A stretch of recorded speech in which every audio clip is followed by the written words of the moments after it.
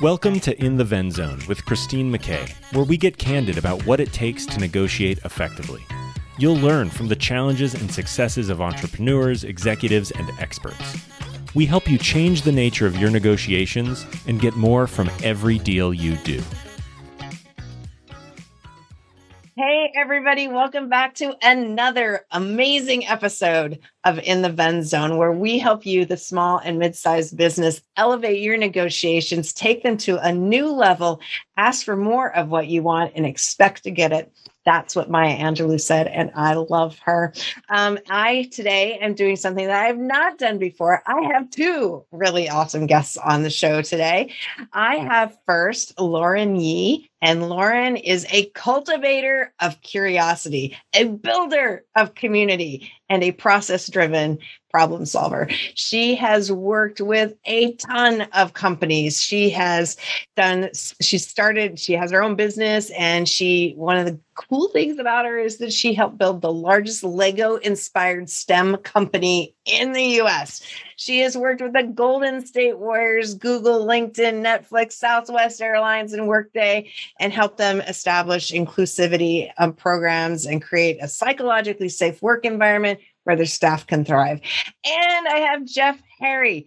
Jeff combines positive psychology and play to help teams organize na- organizations navigate difficult consult- conversations, assist individuals, all these good stuff. And he has been selected by Bamboo HR and Engagedly. That's a hard word to say. Mm-hmm. Um, as one of the top 100 HR influencers of 2020. He's been featured in the New York Times, Mashable, and Upworthy. And he also has worked with Google, Microsoft, Southwest Airlines, as well as Adobe, the NFL, Amazon, and Facebook.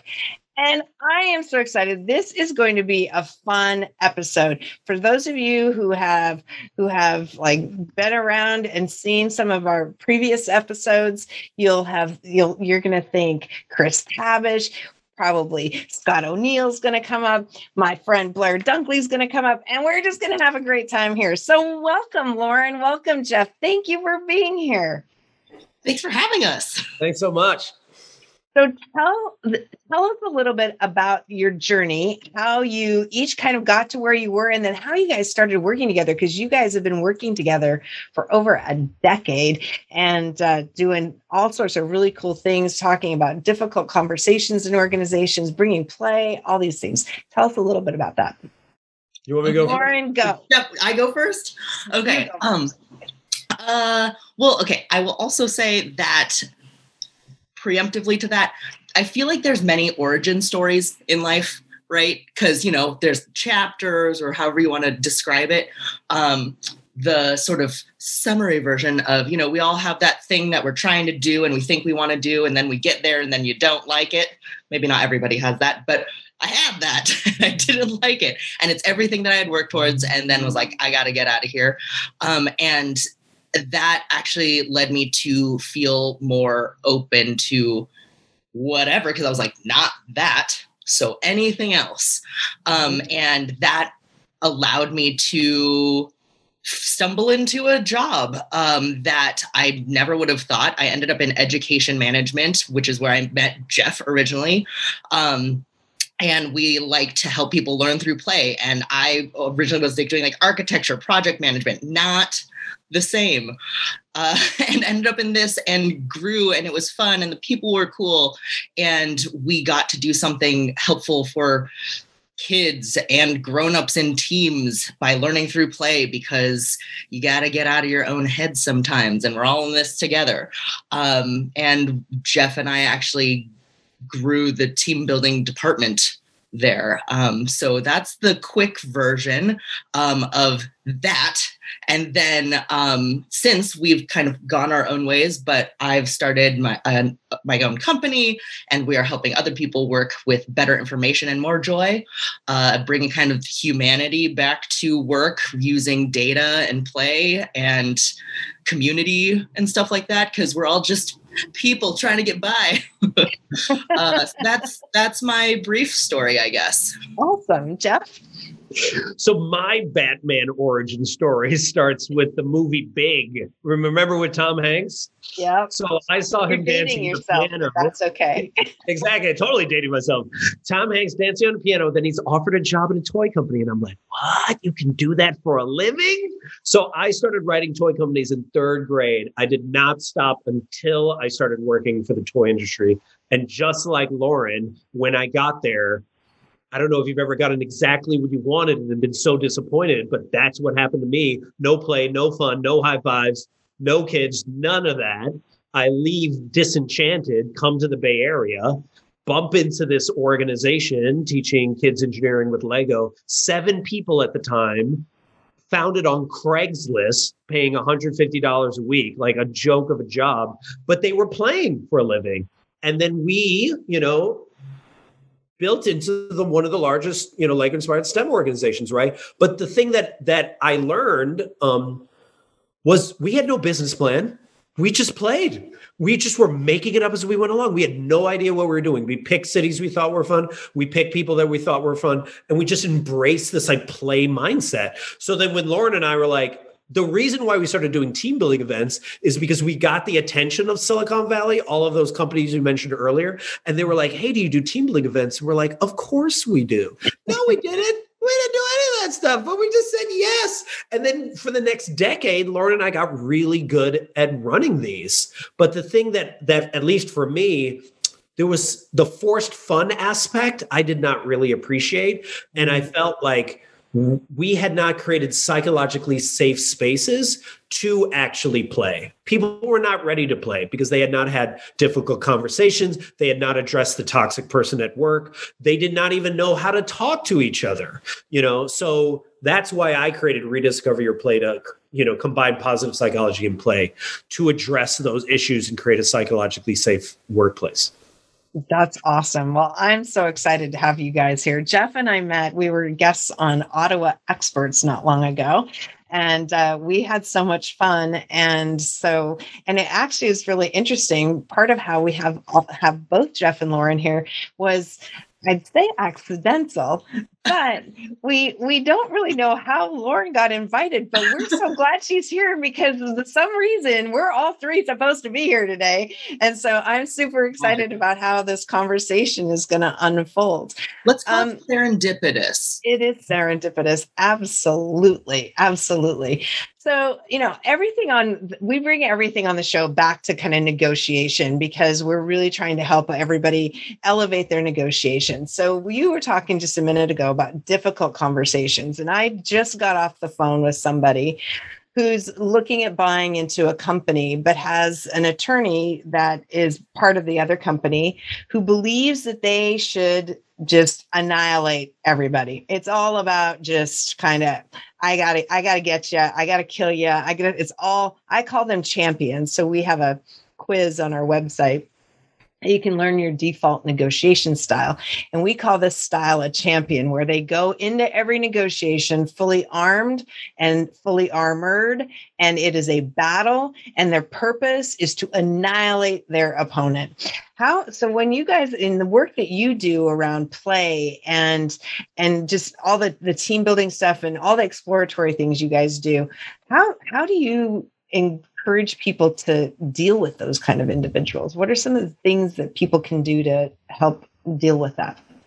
I think, okay, so I don't know all of the uh, like names for it on your test, but that the champion feels very, that is hard to deal with because difficult conversations should be a conversation and that doesn't feel like it would be that's a lecture that's that's the i'm right you're wrong this is how it's going to go i'm winning you're like okay we're clearly not in this together which mm-hmm. is i mean isn't that part of like the definition of like negotiating and converse it's like together like you there has to be two parts of it so that's really tough to um, that can be really tough to manage um, and especially depending on your like the power structure because mm-hmm. authority matters. Whether people think it does or doesn't it does.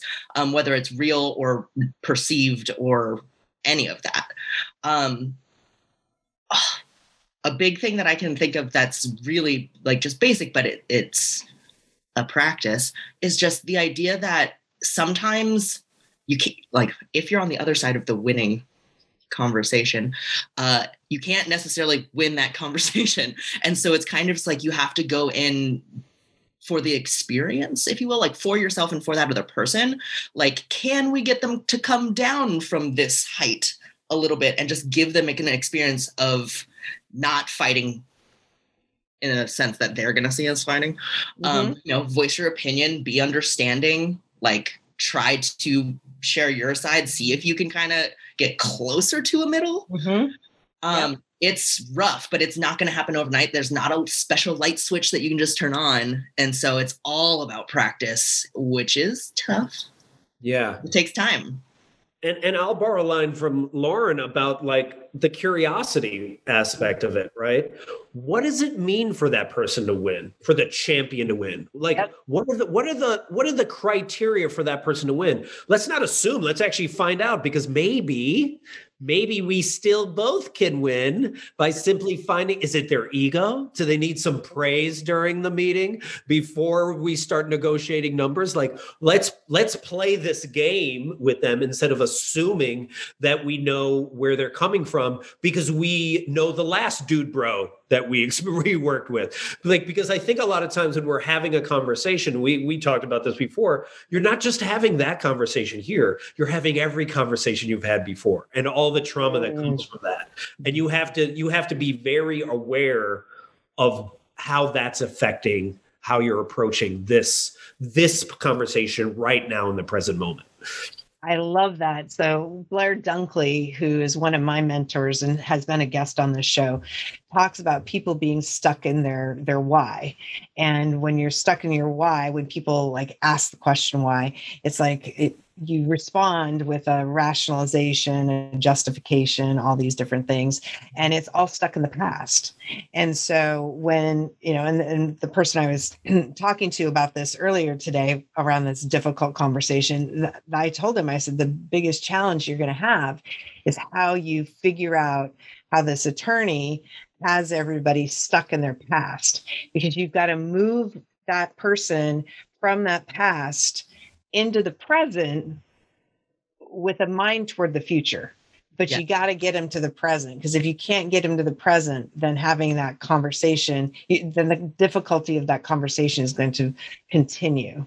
That um, is so huge. The thing about so much too much of what happens with i think people in um di- we'll just difficult people in situations. People get stuck in the trauma in the past but it should be about the present and the future because mm-hmm. we can't change the past. It's rumination. I talk about that with jeff a lot. It's like it's can be helpful to an extent in terms of like uh like figuring out how we got here but in the terms of why didn't i i should have okay that doesn't really you can't do anything about it then. So like you can think about it in the sense of moving forward but we got to be here now together. Mm-hmm. And if you can't get there you can't move forward. You might be sort of making like physical actual steps but in terms of functioning and actual progress and all of that part of it like the actual part of it, it it's not going to happen if you can't get to past the past. Right. Yeah absolutely and and I also think like the champion, I would come up with a different word for that, starting with the letter A, but like the champion um, uh, uh, mindset, they're very insecure. There's a lot of like there's a lot of weakness behind it. And I, and I was mentioning this earlier like there's this book called the power manual and they talk about talk all about power right? And you know and like in every interaction that we have we're we're choosing choosing either consciously or unconsciously to be in a place of power or a place of powerlessness right? And when you're in a place of power you know what type of power are you choosing? Are you choosing supremacist power which is like i gotta win i gotta slay the dragon domination submission you know and it because that comes from like a scarcity consciousness like there's not enough to go around you know? Mm-hmm so I, I got to win and everyone else is going to starve. Or can you come from a place of like liberatory power where like there's abundance consciousness, it's egalitarian and like raise all boats. And and is it even possible to shift that champion into that? Because that champion is insecure because they're out there all alone they've constantly been winning. And because they've been winning so much, no one likes them. No one likes them. So their only value now is winning. So we, you know, when you're coming from a place of empathy and compassion and being like, well, what does it mean to win for you? Let me get you your win but let's actually also move this negotiation forward because we don't have time for this. You're losing money and I'm losing money. We're both losing right now. So let me help you win, you know, stroke your ego, but let's get some stuff done. I like that. I like that a lot because the when when you're at the table and you uh, I, let me tell a story of I had a guy once and um, some people will listen to the, this and go, "Oh my God, Christine, that's a terrible thing to do." But I had a guy who was very much uh, he was very much a champion. He hated everybody. He attacked everybody in, in, both on, well, if you ever would get a phone call because he would never pick up the phone and actually talk to you. So he spewed vitriol through his emails um, to across like multiple organizations. And we happen to have common connections in our in our network. And so I reached out to some of them and asked them about them, about this guy. And their response back to me was, I am so sorry that you have to deal with this guy. So in, you know, in we've been trying to get him to the table and trying to get him the table, and he just would not come and he wouldn't move. So I did because I'm from Montana. So I stepped on the head of the rattlesnake. I just kind of went, okay, I got to move him so far that he gets pissed off in order to get something to to shake loose from here. Now, I should have talked to my boss before I did it, but which I didn't. That that that in hindsight was the only regret I had about the situation. Um, but so I he sent this really nasty email. I replied with one sentence, and I said, "It's good to know that our mutual connections are right about you." that was all I said. Right now, I knew that that was going to really make him mad, right? But I needed to do something. Being nice wasn't working. Trying to cajole him wasn't working. He needed so much to he he was so invested in being angry all the time that the only way to get him to actually negotiate was to make him more angry. And and so I got in the next morning and he had written this like insanely long letter to the chairman of the board, the CEO, the CFO, the COO, the two vice presidents of sales. And and it was just this long diatribe in response to my one sentence. Now, the way that I wrote it could have been taken in either direction right. Oh we have mutual connections. Who are they? I'd love to i'd love to connect right, right. it, it could have gone that way. But he chose to take it in this really negative dark way. And sometimes you when you're dealing with conflict and you're and at the table and you're trying to get somebody to do something sometimes you have to do some things that are kind of dramatic and drastic in order to and and i i still negotiated that deal but the attorney became kind of the mouthpiece for the deal because the guy wouldn't talk to me. Not that he talked to me before but we got him to the table. Yes so that was successful in a strategy. So I'm curious kind of what you guys' thoughts are on that and feel free to criticize it. It's totally fine because it happened years ago, but um, but it was it was it was I didn't know what else to do at the time and it was like yeah, when you when you have that difficult conversation that somebody you have to have but somebody's not willing to have it. How do you how do you do that? Well, I I love the play of it. I love the experimentation of it. That's what I love. I love that you're like, we've tried everything, so I'm going to try something else. Like I'm going to rock the boat. Like what's what's wrong with this? Because everything else y'all are doing is not working. So that I I I respect that. Not to mention, I'm all about setting boundaries on really horrible toxic behavior, and it's just like that needs to stop anyway. So call that person out. I love it. I agree, and also good for you. There's okay, so there's like a level of um everyone has their own version of what where where they might draw their line. Yours seems pretty high which i appreciate. Um because there's the there's the level of ask for forgiveness, not permission, right? And you're just like, I just got to do something. And I can appreciate that. Yeah, it was like maybe maybe the boss asking, mentioning would have been a good move, but you know, we all we've we've learned now. And now, if you ever have to do that again, you'll ask or throw it out there that I'm going to send this email. But there's this thing of um, like the play, uh, curiosity, like the if you're too comfortable and things aren't working, you're just going to sit in that and nothing's going to change. And it's just me turn like, this is your new, this is where I live now. And if you want something to move forward or progress, you have to get uncomfortable sometimes. And that Mm. doesn't, it's not always at that level. Hopefully for people, but you sometimes you have to try. Like we've tried everything else and it's not working. So either this is just how it's gonna be, and we're okay with that, or we're not, and it's just gonna be terrible, or we're going to try something else. And the idea of like the possibility and again it not being like i'm going to stick it to him but like kind of but not really but questionably neutral ground like it's like a the safest version of what could have happened probably. Um and and Lauren brings up a really good point of like that, you know, I think in a lot of companies when we've been there for so long, we're like, there's such this philosophy of like, well, this is how it's always done. So this is how we're always gonna do it. But it's like, dude, no one's happy. like no one's happy with this approach. Why are we still here? Like, well, you know, I well, I'm thinking we should try this new thing out. Oh, we tried that 10 years ago. Do it again. like it's different again. Like it's been 10 years. Like the amount of of lack of wonder yeah and lack of willing to possibility try something new and experiment is why your organization, and I emphasize this, will become obsolete in the post pandemic if you do not get your act together and own the resiliency. You know, and I say this a lot, like Steven Johnson says, the future is where people are having the most fun. And look at the organizations that were having the most fun. They were willing to fail. They were willing to take risks.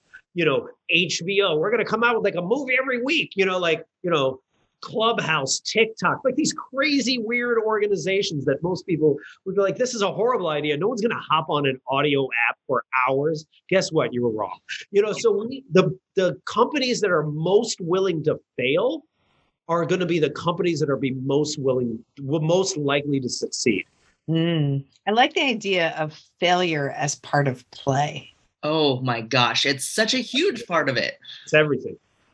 I, 'Cause- I, lo- I love it. Go ahead, Lauren. I mean, okay, so the uh, related to what we were just talking about and failure, the uh, the phrases that I hear that like kind of make my skin crawl a little bit when I hear them are the like, well, this is how we've always done it, or like if it ain't broke, don't fi- like don't fix it. But I get that to an extent where you're like, okay, like don't mess up a thing that's like functioning okay, but also like challenge it a little bit because there's the sort of opposite part of that phrase of if you don't like if you like there's no change without change sort of you know? Like Mhm. like if it ain't broke don't fix it. Yeah but also uh then you're just stuck and doing nothing. And so like f- play okay jeff and i talk about like play and curiosity and what that looks like together a lot. And um play doesn't always mean things to grown-ups. It's like Mhm. recess and board Mhm. games but it's not it's not that. It's about being present and engaged and losing track of time and being excited about whatever which could be reading or knitting or running. I don't like running but some people do. Um, but like whatever it is it's like whatever it is where you're present and enjoying it and losing track of time and engaged and like not thinking about all the things that you should be doing instead. And there's it's there's so much possibility with that because it doesn't necessarily matter what the outcome is. Like sometimes there's purpose ish but sometimes there's not.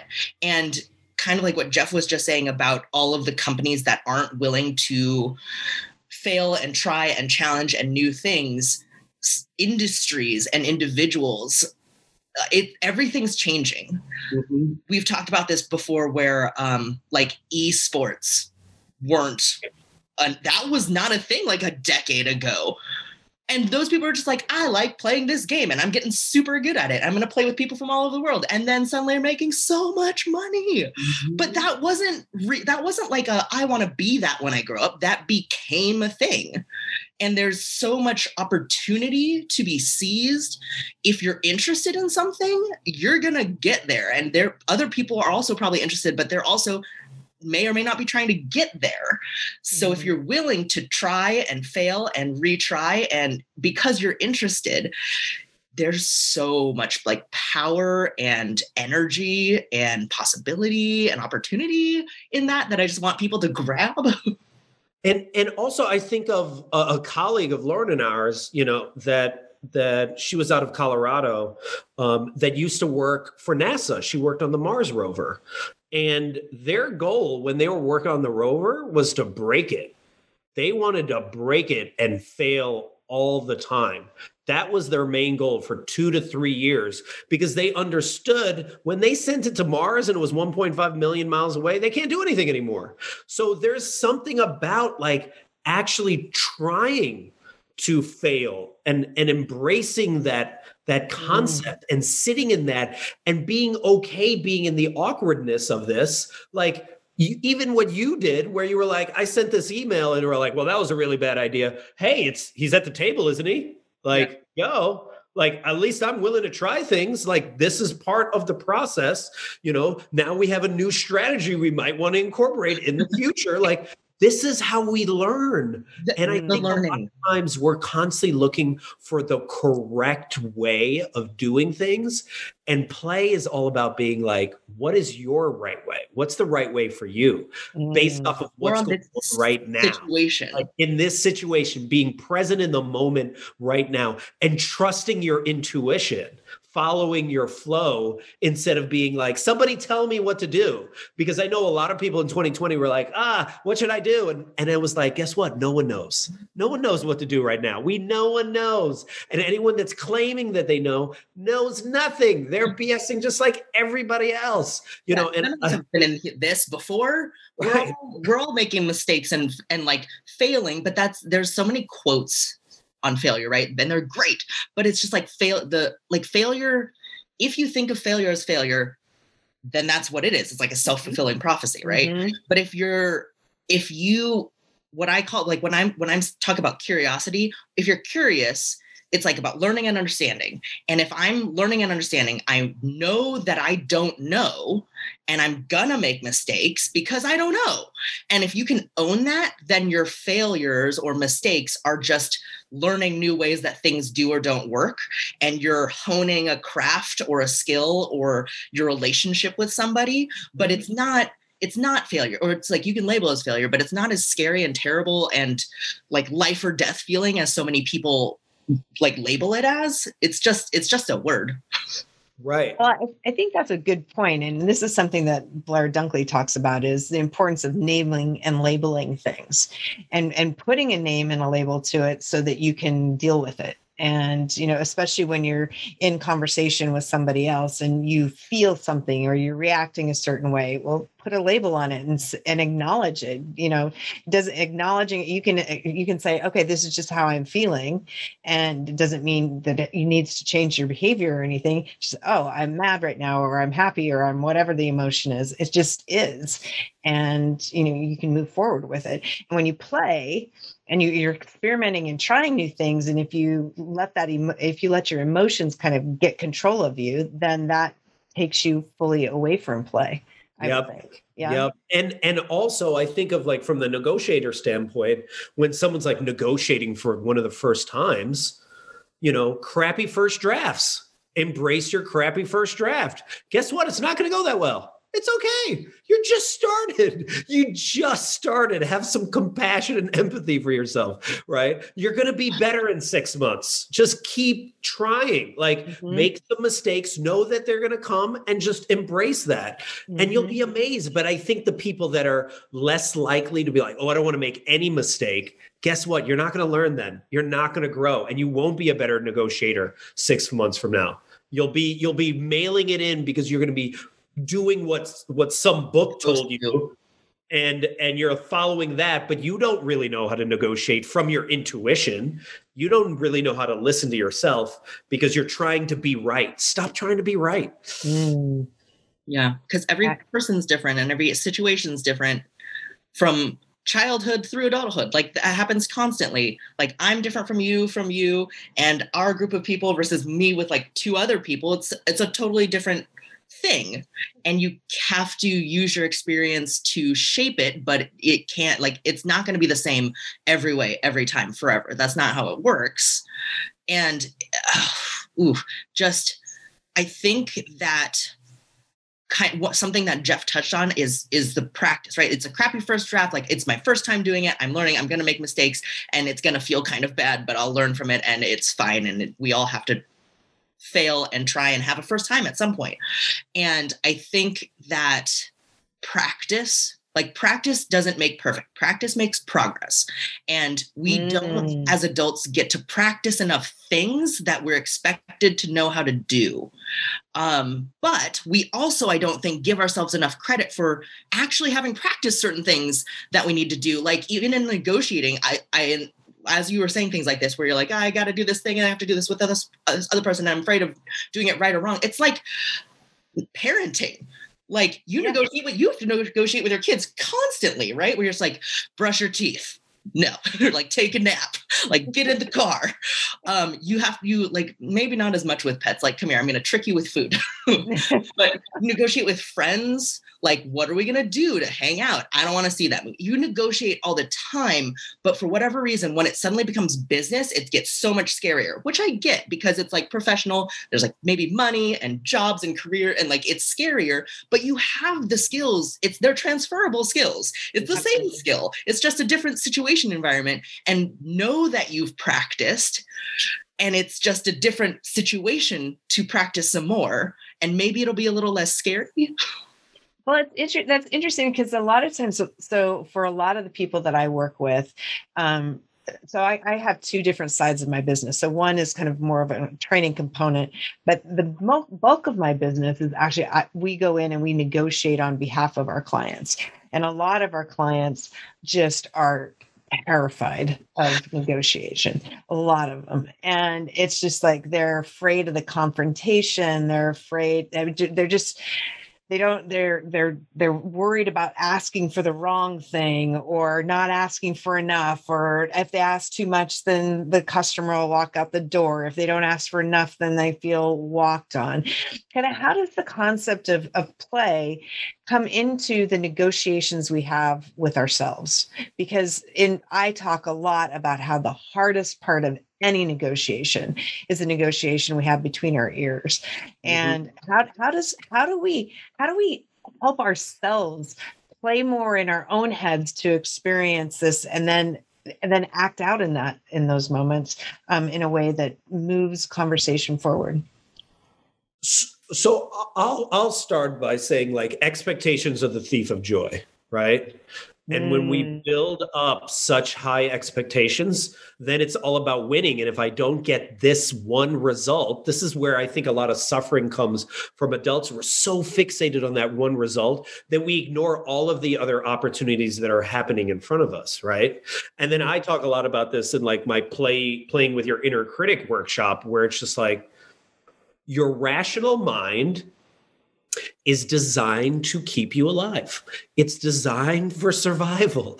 Your prefrontal cortex, your inner critic, it is there to protect you. That's why it's there. But a lot of times we lean on our rational mind and we ask it, should I take this risk? And it's like, no, you should binge watch Netflix and, and sleep under a duvet. Like, don't do anything ever, right? when we should be leaning on our intuitive mind and our creative mind and our curious mind to be like, what, what is possible, right? So what one thing I do when I'm playing with my inner critic, and I do this with my best friend Dana, is I'll actually write down what my inner critic is saying to me. So in a negotiation, I would be like, or or going into the negotiation, like my inner critic's like, you're gonna lose, you're gonna lose so much money, you're the worst, you're the worst negotiator ever. Like all I just write all the worst things down. Because once you write them down, you make yourself very aware and you start to Mm. practice that muscle of awareness, which is most probably the most important one, self-awareness. And sometimes I'll text my best friend Dana, and I'll actually name my inner critic. I'll think about what it looks like, what it sounds like, and I'll name it. Mine is Gargamel, and I'll be like, Dana, Gargamel is telling me that I'm a horrible negotiator and that I will not get a good deal and I will not make money and all this stuff. And as soon as I write it down, it gets quiet. That inner critic mm. quiet. And then one thing that I've recently learned to do that's kind of fun is then I'll take the same things I just wrote down and I'll flip them and be like, I am an actual good negotiator. You know, I I will actually do well well in this negotiation. I am confident about what I'm talking about. When you flip those, you start to create this like inner child mantra and you start saying that to yourself. Ooh, all of a sudden your inner child gets really strong and your inner critic gets really quiet. And you just do techniques like that going to a meeting and you do some power posing from Amy Cuddy and look, yo dude, like watch out what might happen. Something magical might happen. I love that. I love that. Lauren, were you going to say something? I feel like sort of, I don't know. It's because of the decades of work we did with kids and team building and using Lego materials. But I feel like so often I, not to be like treat people or yourselves like kids, but kind of because we have so much grace for kids and then we don't extend that to anybody else. And it, it I'm reminded of this over and over and over. And like even what Jeff is saying, I the generalized versions, right, are when you have kids or like when kids okay, kids are like telling you like mom mom mom you're like okay i hear you it's the address and move on like cool i can't talk to you about that right now but i'm gonna when i'm finished this i'm gonna ask you about whatever tv show you're telling me about so it's address and move on which is what jeff is doing with the inner critic mm-hmm. like i hear you and i'm choosing to ignore you or like i okay i got it we'll come back to this later because I hear you. I need to move forward. It's the dress and move on sort of principle. Um, mm-hmm. And then also just the idea that um, we tend, we've, I don't know how we've done this as humanity, but again, so much is a practice because we practice and condition into whoever we are, however we are today. And we can practice out of that, but it takes practice because we have gotten so good at like when someone want if a friend asks you oh i'm thinking about doing this potentially risky thing a lot of the encouraging thing that a lot of people say is what's the worst that could happen? And we go to the negative but just like mm. what's the best thing that could happen? Can we like flip this a little? Like jeff does with his like all of it's bad and flip it to uh, i am a good negotiator. I can get a good deal because there is there's reality to that sort of self talk it's going to go however you think it's going to go to an extent.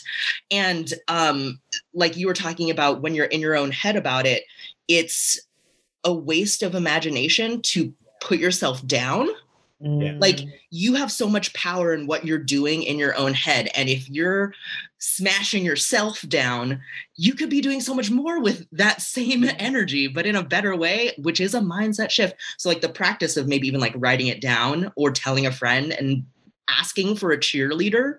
Mm. Um, yeah. There's there's a thing like when we want to. I've talked to Jeff about this, where you want if you want to get something done on your own or like with your company, you need accountability because sometimes it's hard to do on your own because we make excuses like binge watching Netflix.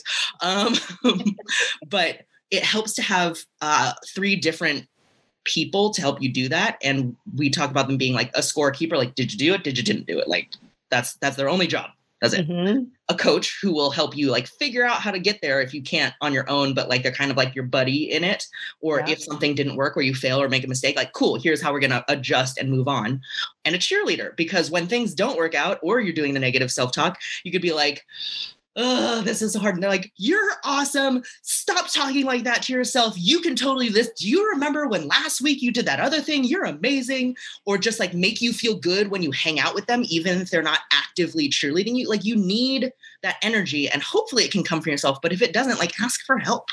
Mm, yeah, wow, that's good yeah that's I, I, think that's important and i think that when people so many people find negotiation to be an intimidating thing and so when but part of that especially for smaller companies is that it's often the owner that is mm. going in to do the negotiation mm. and mm-hmm they don't have what you just described. They mm-hmm. oftentimes don't have that that cheerleader. They don't have that you know person who's kind of in it with in it in it with them uh, or the person who's keeping them on task. They feel very isolated and very alone.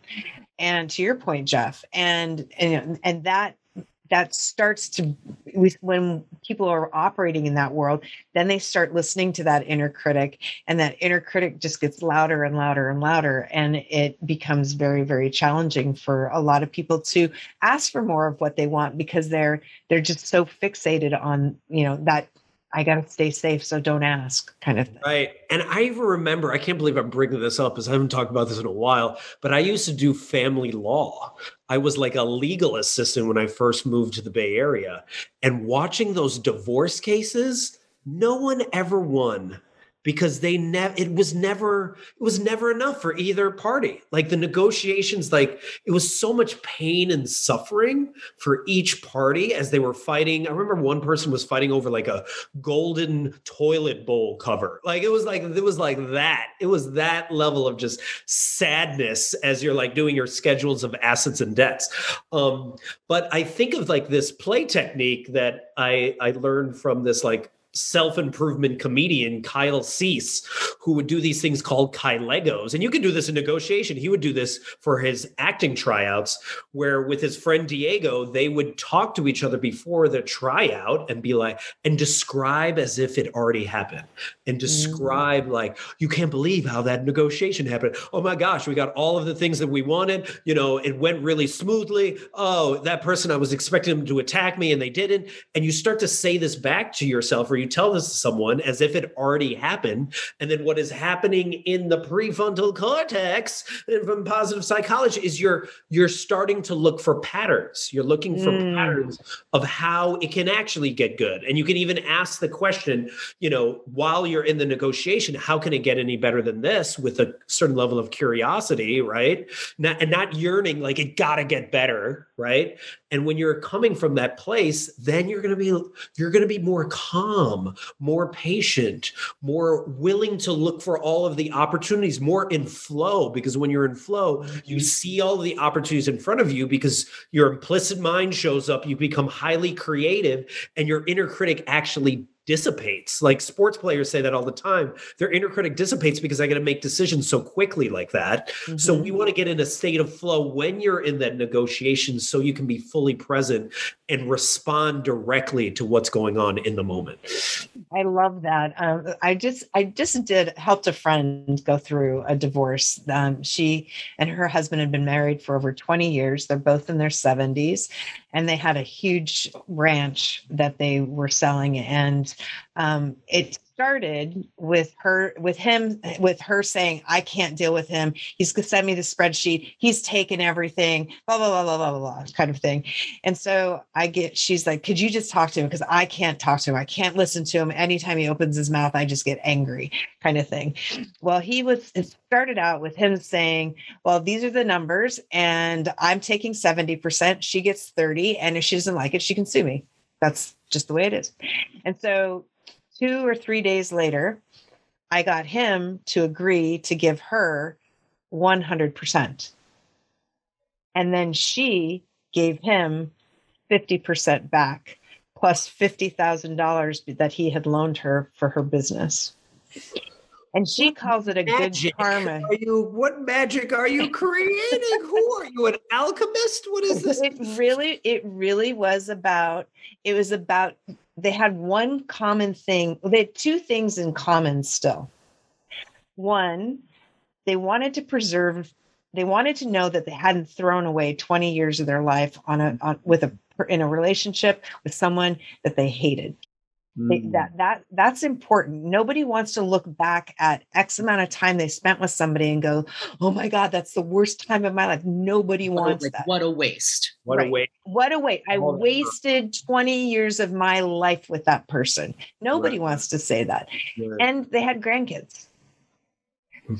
so it was all about it was all about so she's eh, so when when he'd given her 100% then she started doing the well i invested more i did more i blah blah blah blah. And i said to her i said so what are you going to do when we get off the phone today?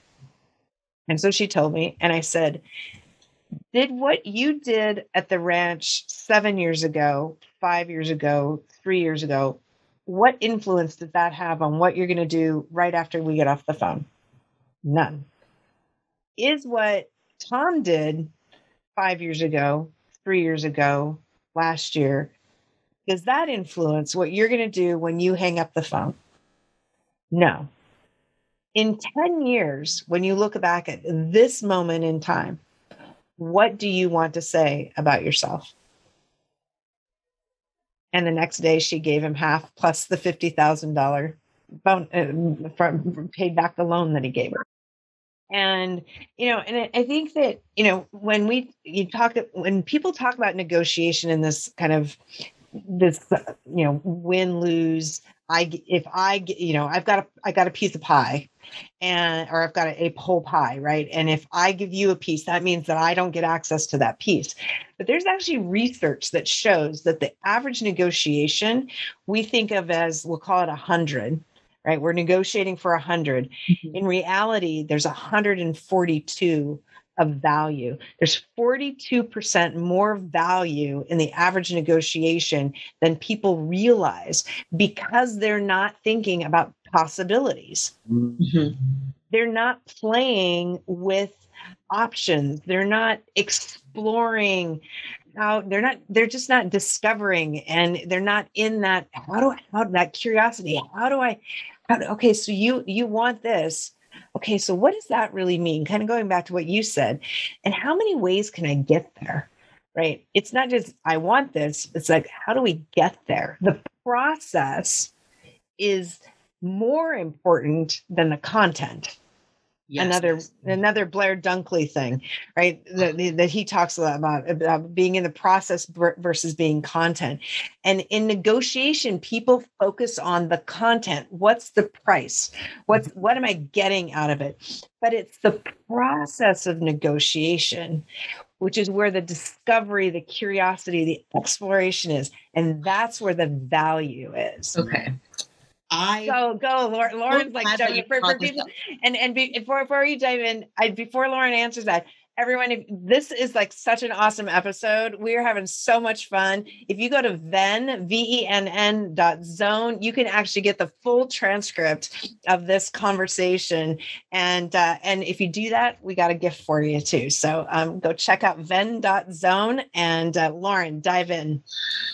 Okay, so the thing that you're saying without saying the word that it kept floating in my head was people have conversations all the time, but when negotiation becomes the label, it's about a transaction and nobody wants to feel mm. like a transaction.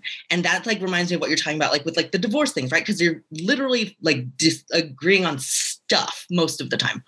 Um and in a very mundane but feelings way when Jeff and I worked for this uh, learning through play Lego company um, we would go to conferences to like meet people like talk about programs and do stuff like that and because we you know rep not rep Lego, but we utilized Lego. Um, we had like Lego bow ties and like hair, hair clips. And so like I'd wear one and we would bring like a couple for like the cool people that we met because we're like, you're really cool. Like I want you to have a, a present because we're, friends. It's like a friendship bracelet for adults. Yeah. Yep. With Lego. Um, but we would have these and it kind of got known because people would just be like, oh, that's so cool. And we're like, oh yeah, thanks. And we'd talk about it. And then I'd be like, do you do you want one? Because you're really cool and I like you. Um, and kind of just have, but then like people at the conference would then have them. And it would kind of get around because you know a lot of a lot of times at conference there's like swag from whoever else is there and people would ask like oh where'd you get that? And they're like oh like from this person not from a booth. And for it's such a small thing but it's about it's about how people how you make people feel.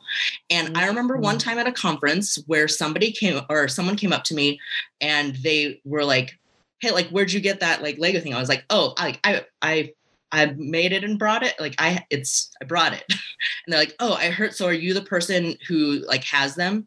I was like, "I mean, I guess so." And there's like, "How do I get one of those?" I'm like, "Um, well, we could start with what's your name? I'm Lauren." and then they're like, "Okay, cool." And I was just like, do you want to ask answer a fun weird question for me? Because we were it was like mingly time and this is one of my favorite things to do at conferences when i meet new people. And they're like okay sure. And then i asked them a question and like it was a random question. They responded and like so did i do i get one now? And i was like you got to stop asking that.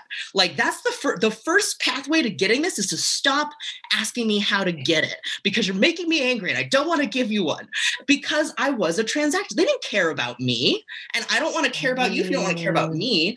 And that's when uh, yes it is about a transaction but it's not the only thing it's there's so much more to it like you're saying like in like what people are thinking is or isn't possible or what you're actually talking about whether you're talking about it and using the same word but it holds more meaning for different people in different mm. ways. And you can't figure that out without having the conver- the bigger conversations around the conversation to figure out what is your winning what is your win or like whatever you want to call it.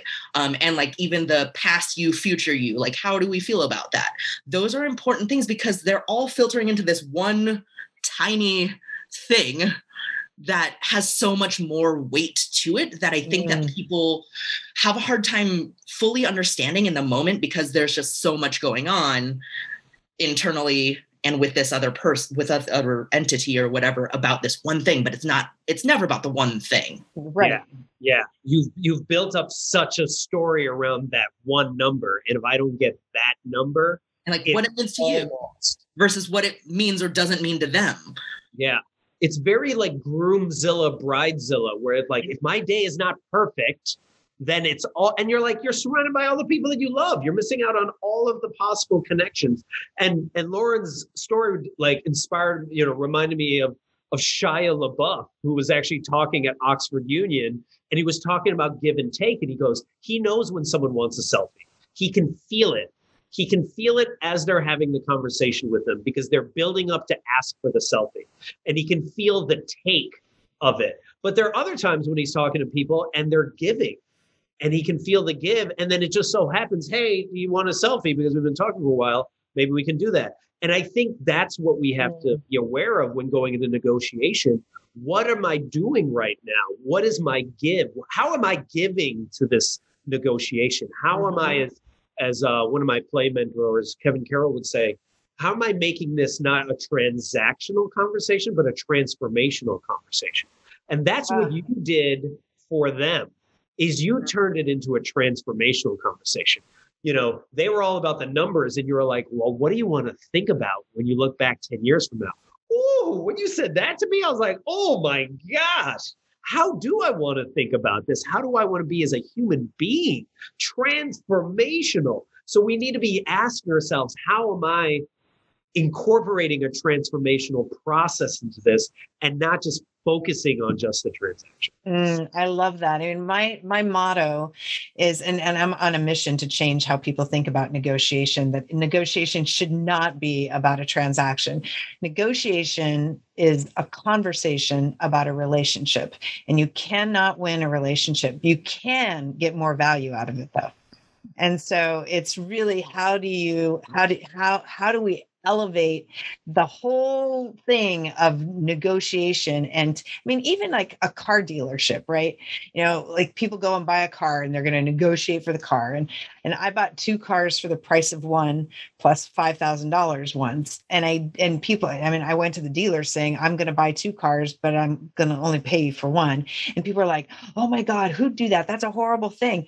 But there were circumstances that i knew because i'd done my work. I'd done the work to do the research research. I understood the market. I understood who the buyers were. I understood how the company made business, how, how they how they made money. I understood what the salesperson needed. I understood how they sold. And I realized that it was actually beneficial for them at that moment in time, at that specific moment in time, in that specific situation, to sell me two cars for the price of one. I was wrong on the holding costs, so I increased the offer by five grand. So it was like, all right, so correct me, but but it was a good deal for them, and it created a great relationship because at one point when they were pretending to be really upset with me for uh, putting that offer out there. I, I looked and it was like Friday night, and I looked at my husband. I said, It's date night. We got to go. And if you leave the lot, then you're probably not going to buy. But I looked at the the manager who was kind of red in the face over the whole whole process because he's never had somebody do this before. I looked at him and I said, So what are you doing this weekend? It's Friday night, you're working, you must have tomorrow off. I said, What are you up to this weekend? right it goes back to the relationship that it's never about one thing and he's like oh he's like taken aback by the the question and he's like well i'm really we were in massachusetts and he's like i'm really into dog sled racing i have a race tomorrow and I said, Oh my gosh, I'm from Montana. And the Iditarod winner two years in a row is from Montana. We happen to have a standard poodle at the time. That year, there was huge controversy over poodles racing in the Iditarod because some had died. And so we got into a whole conversation about the Iditarod, for Christ's sake. And it created relationship.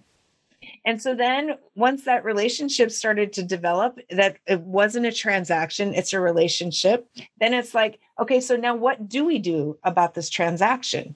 These are all the assumptions I have. Where are my assumptions wrong? So it was relationship plus transparency because I think that so this gentleman I was just talking to today, uh, this attorney who's very value taking and is a total champion, they play everything very close to the vest. You can't build a relationship if you are not transparent, if there's not some level of transparency. So, in order to have a, a really effective relationship, you have to have a level of transparency. But how do we build that when we're in situations where we've been conditioned not to be transparent, like in a negotiation. People are like, "Oh my God, I'm afraid if I share if I share this information, then." Eh, I mean, I, I say I often say that there are two big things that prevent us from being successful negotiators. One is fear, the fear of being judged, and two is that we're constantly operating from the position that our counterpart is out to get us. Yeah. Right. So trans so that prevents that second belief prevents us from being transparent because we're afraid that if we disclose more information that that weakens us that it puts us in a weak position.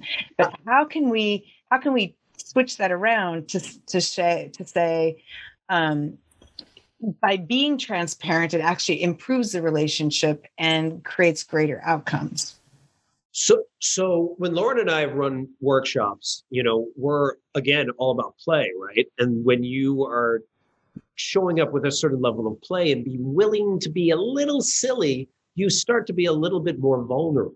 You start to mm. start actually showing. So we don't start off with like, let's actually start talking about the thing that is most tense in the room. Let's address that right now. No, let's start small. Let's build up from here. When we're running our, you know, how to you know navigate difficult conversations talk and we're like all right we're we're blaming okay we're blaming people and blah blah blah. Hey instead of blaming people let's blame this goat. We're going to blame this scapegoat and all of the anger and everything's going to go at the goat. And then when you start to do things that are silly and you start to do things that you realize like you know is it that serious?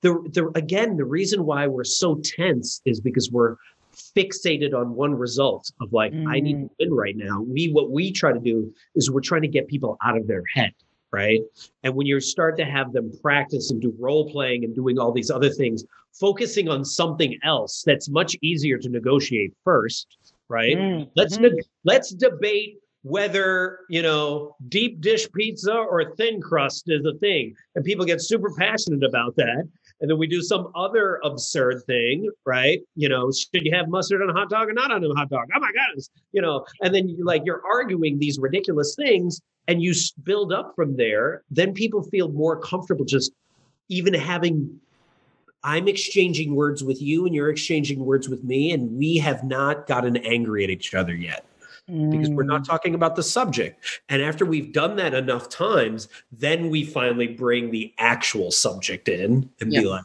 all right, mm. now let's address this because mm-hmm. we've now practiced lifting smaller weights than heavier weights. And now we're ready to actually lift the real weight. Got it. Yeah, I love that. That's, Lauren? I think that that's why the um your your question's like a, it's a heavy hard question to like how do we flip the script you're like oh well you you can't just you can't just do that because it is it's a you have to find little ways to practice always practice getting out of your own head and whether that's um like with like actively doing silly things or it's because what is it what it's about eventually like what you're talking about trying to change how negotiation is seen is it's like we're humans and it's not a transaction. And we, so being able to practice that or get used to that it's if you think about it the other way right? If i'm negotiating with some big company about something and it's like me against them um if i am like here are the facts and here's what i want and i think that i'm proving a good point that's fair and fine but if it were like flipped it's it's like the idea when people use it in marketing all the time but when like big companies say good things or like look at this good stuff we're doing. Sometimes it's marketing sometimes it's real. But like as a person if you're like look at this good stuff or who i am as a person you can connect more, more and you're like more willing to go there for the people you know more about. Like if you're at a networking event like just people to people whatever networking mm-hmm. event you're just like nice to meet you. What's your name? Where are you from? What do you do? And none of that means anything. But when you talk about an Iditarod, or it's like, oh, we both learned how to knit during the pandemic, or I also have a goldfish i don't know uh, but like finding random little ways to connect it's like a practice of opening up especially since in tie in the last bit here we've all been a lot more isolated not everyone's as practiced as um, some others in digital virtual remote work and we are out of practice with people and finding little ways to do that even at like grocery stores when i've just been like hey how's it going? People are like what? Like people people don't talk to me. Um or like when toll booths used to be a thing with like humans mm-hmm. i would like take my sunglasses off and be like hey how's it going? Here's the money. Okay bye. Like you're a human and i'm a human. And practicing that in little ways it like it it's that feedback too where if i practice and it doesn't go terribly and if they light up more then i'm like ooh then i'm gonna light up more and so mm-hmm. it it gets you it builds up that muscle but you have to do it in lit, find little ways that you're comfortable in trying um, or kind of like Jeff was saying before, like priming your brain to see the patterns of why it's good to share information. It's the same thing, especially with social media, when people sometimes when somebody gets like a viral post, just like, oh my gosh, me too. Like someone shared a really vulnerable fail moment or like a weird conversation they have, or like they're like, oh my gosh, I can't believe I just did this. But they share and everyone's like, yes, likes, me too, retweet, all the things because we don't want to share it, but you did. And I feel for you mm-hmm. because that's me. and so trying to realize that can be really helpful but again in safer smaller ways to so you get more comfortable with it mm-hmm. got it Jeff? i would also uh, say connecting to the why if you went into a negotiation with, with two companies and you were like well why do you work here what do you love about this organization? And then another person says, what do I love about this organization? And you start finding out the backstory behind this and like, why are we here today? What do you hope to get out of this? And you start to humanize that individual that's so much more powerful. They we want to connect as human beings you know? And the only reason why we want to win or win the transaction is because we feel like that's going to bring us happiness when really what we want is the connection. Mm-hmm. awesome. This has been really really awesome. I love it. So i have a couple of questions that i'm going to ask you. So I, i'm this is new for me. So I decided to how do I tie every episode together? So, kind of what is a book or a show that you have read or watched recently that everybody should know about? Ah, uh, okay. So Jeff and I are actually both reading this. I don't know if this would be his answer, but we're reading. It, um, it would have been, but yes. uh, Malcolm Gladwell's Talking to Strangers. So good. Oh my. Okay. So, so tough, good. So tough. One. So good. So, so tough. So great. Super heavy and interesting and mind expanding and imploding. And I'm reading it, but also um, the audiobook apparently is like made like a podcast so like they pull in extra stuff and it's so also super amazing. Um it's super interesting and i feel like i've learned so much and also now know nothing um at the same right? time. Everything it's, we thought about human connection is yeah, it, it was my number one book of 2019 i love oh my gosh. So we're both reading that now and it's very it's woo it's a good one Yeah. Yeah. And and we're part of this book club from this guy Eric Bailey who wrote this book called Cure for Stupidity. And I and we I also really enjoyed that book because it was mm-hmm. it was the first time I really was challenged to be like, am I going into this conversation to understand or am I going into this conversation to win and be right? And you can't do both. And that has helped me Mm-hmm. plenty when I'm like, okay, I'm trying to understand. No, you're not, Jeff. You're still trying to win. You're still trying to win. And to actually call myself on my own BS is really powerful because you oh, have to do it constantly throughout the entire conversation. Oh, I like that. I'm going to. So, Malcolm Gladwell, I've read every one of his books. He is one of my absolute heroes of the moment. I love him. Um, and but I'll check out that book. And then I am huge on philanthropy. So I really would love to know what's a charity that each of you just really would love the world to know more about and and to to support in in whatever way. I was like, just Jeff. I was like, I said the book thing first. You want to go first? Oh yeah, sure. I'll go. Um, this is an interesting answer. So, um, ProPublica, I really appreciate. I was introduced to this by uh, former colleague Steve, who, it, which is it's all about uh, media transparency, and it's all about you know like making sure that media gets a voice especially you know in the last few years. So i really do love supporting that organization. But more what i'm fascinated by and this is actually another book that's worth recommending is is a book called winners take all from Anand Giridharadas, um, where he talks about the challenge of philanthropy and how mm. there is a lot of elite philanthropic services that are happening right now. We're giving away more money than we ever have in the world and we have the most massive amount of discrepancy when it comes to wealth. So, how is that happening?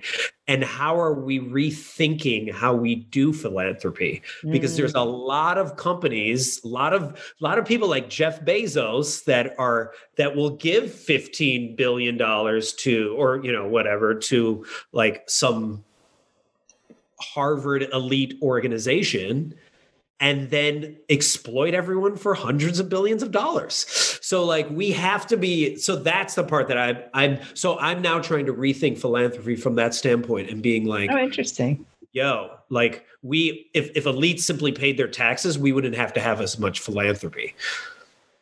Got it. I, I like the pro pro Republica, and I'll check that book out too. So yeah, winners take all. Winners take all. Very cool. Lauren. Um, okay, so I think I I don't know if I'm quoting this correctly. I was like, I don't I don't officially know if they're a non-profit. I was like, they take donations, so I feel like they are. Um, but there's a I don't know a, a deep amount of this, but um, I think what are they called? Uh, holla Hollaback, not ER, but Hollaback. Um, mm-hmm. they are a company that I believe is like trying to promote uh, access and accessibility of people with disability and things like that. And I know about them because they partnered with AAJC, which is like Asian Americans for Justice, mm-hmm. um, recently. And a couple weeks ago, um, I took a bystander intervention training that they're doing for free right now mm. and they're mm. open to donations because they're trying with the rise in violence of all kinds um, mm-hmm. um, they're trying to make more free public trainings available. So they're like, we're open to donations because they're trying to hire more volunteers and trainers and stuff like that. And I think it's really great because they make it a really great space. Um, I they make it actionable they make it anonymous so people can um, like type it the, the, chat's not public but you can type and they like read people's answers of like here are some people's suggestions and things don't forget like that's a great answer but also don't forget that you should ask yourself this when you're doing that thing and they have mm. scenarios that they go through it's very tangible and real and they're making it free to people because it's needed which i really appreciate mm-hmm. um, and they're they're doing good work and again responding to need and people's want like especially with um, a lot of the people of color and Asian hate and things that are happening right now, um, there was a huge influx of interest in people trying to figure out what they like. What can I do as an individual who's not in government um, and just around? And a lot of people flocked to this paired up training that had happened that they were running like once a month or something like that. They've been doing it for a while. And they responded by like increasing the capacities and adding more trainings and it's not they want to do it because it's good work and i Mm. really appreciate that and i think that they do a, a really good job um is anything perfect no but like they do they do a really good job it's interactive it's engaging you have takeaways it's a safe space they're informing you without making you feel like you don't know anything Mhm. and um it's really cool so ho- Hollaback Oh, and, and I just thought of two other organizations. Stop Asian Hate is really doing a really amazing job around API awareness, especially around Mhm. the violence. But then I forgot this other one, Braver Angels. oh yeah Mm. Braver Angels is an organization that's bringing people from the right and left together to have conversations. conversations Ooh. It's really interesting. Yeah. And they and when they have a Zoom meeting, they bring 10 Republicans and 10 Democrats and some independents, and then they put out a question and they they facilitate a conversation. And they've been Oh, trying wow. to do that for the last year, year and a half. Braver Angels, I think, dot org. But Awesome. Well, Yeah. I all, all of these will be in the show notes. So anybody who is interested in finding out more about them, we'll put the links to those organizations in the show notes. You can find those at venn.zone. And I just did you guys have uh, something that you I wanted to give you an opportunity to give something to the audience if you had something to to share with the audience that, on how they can find you. Yeah, I mean, you, you go to either of our websites, and you know, Lauren and I, because we're now just starting to roll out this how to navigate difficult conversations workshop. Well, we're happy to hop on a, a call with you to actually talk about your process and see what you're actually doing. Even if we don't work with you, let's just help you solve the problem. So if people reach out to us, they either can go to rediscoveryourplay.com or cultivatorofcuriosity.com and and let's just have a conversation and see if we can help you. Because at the end of the day we're truly trying to bring shared humanity back to the workplace and build connection and we want to do that. And if we get paid to do it too sweet Love it. ditto I love it. Well, thank you, Lauren and Jeff. I really appreciate you guys taking time to be out of your schedule. And to all of the people listening or watching the show, we really appreciate you. And we really want to thank you for gifting us with the greatest gift that you can give us, which is your time. So, as I have said on the show already, and as I say at the end of every show, just remember that negotiation is nothing more than a conversation about a relationship. And you cannot win a relationship, but you can get more value out of it. Happy negotiating, and we'll see you on the next episode of In the Venn Zone. Have a great day, everyone. take care Thank you for joining us for this episode of In the Venn Zone with Christine McKay. We invite you to visit our website at www.venn.zone to access the show notes and other helpful resources. Empower the negotiator in you and successfully level the playing field. Join us again next time here on In the Venn Zone.